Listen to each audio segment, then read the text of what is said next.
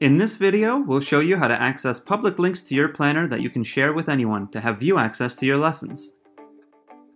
You can publicly share any lesson in Planboard by navigating to the lesson and clicking the Share button in the lesson editor. From your available options, click the Public Link and Embed tab, and you'll see the public link to your lesson. Anyone you share this link to will be able to view your lesson contents, including any embedded videos, attachments, and standards. They'll also have the option of downloading the lesson as a PDF. This feature is available for all Chalk accounts.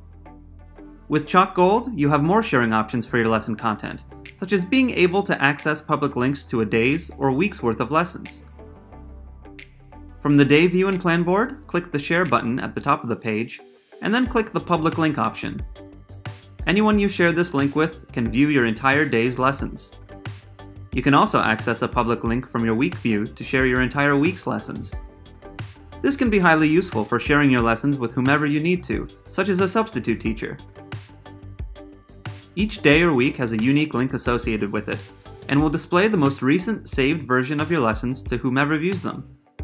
From the Public Link tab, you can select which subjects are visible, or turn off the public link functionality entirely for when it is no longer needed. The Chalk Gold public link feature expands your available sharing options in Planboard.